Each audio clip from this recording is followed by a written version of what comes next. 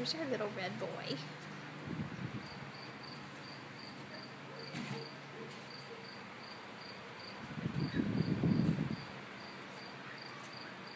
For Anthony, who was worried about him, there he is, Anthony, in all his pretty. And there's the little red girl.